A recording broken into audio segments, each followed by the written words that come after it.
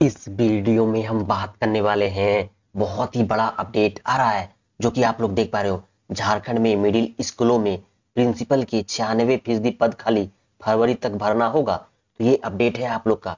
तो यही डिटेल में बात करेंगे, क्या है, कितने पद कहाँ कहाँ खाली है, पूरे डिटेल में बात करने वाले हैं। तो आप लोग चैनल पर नए आए हो तो सब्सक्राइब करके ज़रूर जुड़ जाना है और बेल आइकन को भी ऑन कर लेना है, क्योंकि इस चैनल के माध्यम से आप लोग को शिक्षा से रिलेटेड डेली न्यूज़ आप लोग को दिया जाता है। इसके अलावा फॉर्म फिलअप इसके अलावा भर्ती से रिलेटेड जो अपडेट आता है, इस चैनल के माध्यम से आप लोग को बता दिया जाता है। तो चैनल पर नए आया हो तो सब्सक्राइब करके ज़रूर आपको जुड़ जाना है। तो चलिए शुरू करते हैं। फिर यहाँ बताया जा रहा है कि हाईकोर्ट का आदेश, चार माह में प्रिंसिपल के खाली पद भरे तो चार माह के अंतर्गत आप लोग को सारे पद भरने होंगे, कहा गया हाईकोर्ट की तरफ़ से। तो जल्दी आप लोग को मतलब प्रिंसिपल का मतलब भर्ती देखने को मिल सकता है। तो आप लोग तैयारी में लग जाना, यदि कोई शिक्षा से रिलेटेड मतलब टीचर बनने के लिए जो कर रहे हैं, ठीक है, तैयारी। अब देखिए यहाँ क्या बताया गया है। शिक्षा विभाग का आदेश शिक्षकों को तत्काल ग्रेड फोर व ग्रेड सेवन में प्रमोशन दे। ठीक है, ये आप लोग का अपडेट था, अब इसको डिटेल में समझते हैं। देखो, यहाँ बताया गया है, झारखंड के सरकारी मिडिल स्कूल प्रिंसिपल विहीन है।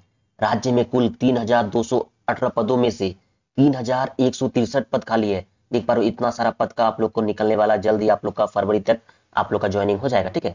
शिक्षकों को प्रमोशन ना मिलने के कारण ऐसी स्थिति बनी है। अठारह जिलों में एक भी प्रिंसिपल नहीं है। सभी स्कूल प्रभार पर चल रहे हैं, ठीक है? निकासी और व्यायन पदाधिकारी डीडीओ स्थायी प्रिंसिपल ही होते हैं। शिक्षकों का वेतन, भुगतान और अन्य वित्तीय कार्य का जिम्मा इनके पास ही रहता है। स्थायी प्रिंसिपल का पद खाली होने के कारण शिक्षकों को हर माह वेतन के लिए परेशानी झेलनी पड़ रही है। अब प्रमोशन के मामले हाईकोर्ट पहुँचने लगे हैं। हाल ही में हाईकोर्ट ने, ठीक है, चार महीने के भीतर प्राथमिक, के भीतर प्राथमिक शिक्षकों को ग्रेड फोर और ग्रेड सेवन प्रिंसिपल में प्रोन्नति देने का आदेश दिया है मतलब प्रमोशन देने का आदेश दिया है। ये मियाद फरवरी में पूरी होगी पूरी हो, होगी ठीक है? तो पूरी में आप लोग का मतलब ये प्रमोशन मिल जाएगा। अब देखो कहाँ कहाँ पद खाली है ये आप लोग को देखो देखने को मिल जाएगा। देखिए जानिए किस ज़िले में कितने पद खाली है। तो जैसे कि ये जिला है आप लोग का रांची जिला है टोटल देख पा दो सौ निन्यानवे पद है जिसमें आप लोग उनचालीस ही कार्यरत है। तो इसको जब आप लोग माइनस करोगे, इतना पद ये लोग का खाली है, ठीक है? अब प्रमोशन मिल सकता है या भर्ती भी निकल सकता है, देखो अब क्या होता है, ठीक है? अब देखो, धनबाद में बताया गया कि इतना पद आप लोग का है, ठीक है? और एक भी देख पा रहे हो प्रिंसिपल नहीं है। सराय कला में देख पा रहे हो एक पद है, जिसमें एक भी देख पा रहे हो कार्यरत नहीं है। फिर चतरा में देख पा रहे हो आप लोग का एट्टी पद है, जिसमें आप लोग का कार्यरत एक भी नहीं है, ठीक है? खूंटी में भी आप लोग का पैंसठ सीट है एक भी कार्यरत नहीं है। हजारीबाग में एक सौ चौबीस पद है इसमें आप लोग का एक भी खाली नहीं है। तिरपन आप लोग का रामगढ़ पे है, देख पा रहे एक भी आप लोग का देख पा रहे नहीं है। तो इधर देख पा रहे आप लोग, एक, दो, तीन, चार, पाँच, छह, सात, आठ, नौ, दस, ग्यारह मतलब ग्यारह ना, बारह डिस्ट्रिक्ट में एक भी आप लोग का शिक्षक नहीं टोटली ये सब पद खाली है। आप लोग सिंपली देख सकते हो। इधर भी और है, देखो जिला है, दुमका है, देखो जामताड़ा में भी है, देखो जामताड़ा आप लोग का एक सौ तीन पद है, जिसमें एक, दो कार्यरत है।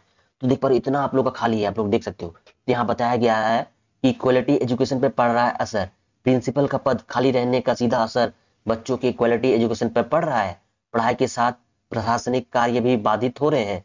हर महीने प्रिंसिपल रिटायर हो रहे हैं, लेकिन उनकी जगह नियुक्ति नहीं हो रही है। प्रभारी प्रिंसिपल भी रुचि नहीं लेते हैं, क्योंकि उन्हें लगता है कि स्थायी प्रिंसिपल के आते ही उन्हें हटा दिया जाएगा।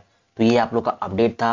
अब देखो, आप लोग का मतलब भर्ती आ सकता है या ये लोग को प्रमोशन मिलेगा, क्या होता है, देखो आप लोग, ठीक है? जैसे कुछ अपडेट आता है, इस चैनल के माध्यम से आपको बता दिया जाएगा। चैनल पे आप लोग नए आए हो तो सब्सक्राइब करके आपको जुड़ जाना है। तो मिलते हैं आप लोग के साथ नेक्स्ट वीडियो में। धन्यवाद।